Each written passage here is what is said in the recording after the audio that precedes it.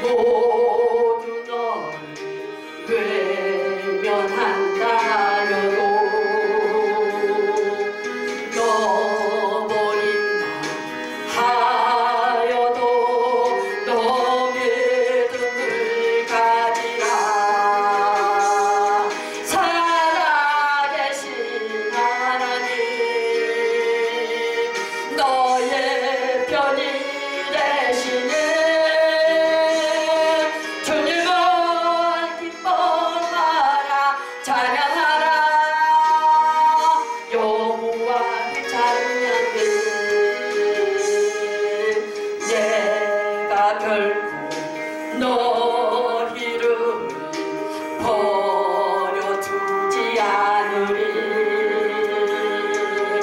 약속하여 조신주 너를 지